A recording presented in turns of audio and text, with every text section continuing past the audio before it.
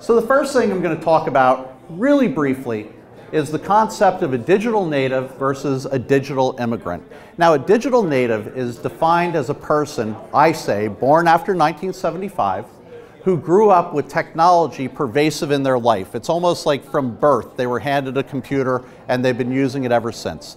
A digital immigrant is someone like myself. I was born in 1964, like yourselves, who over the years have had to become acclimated to technology. You've had to learn to use it in your life.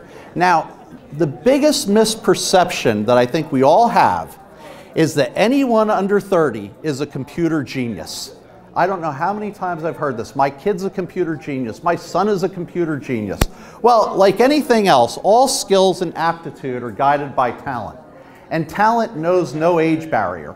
So everyone in this room has the aptitude and the talent to really guard themselves against these types of scams we're going to talk about.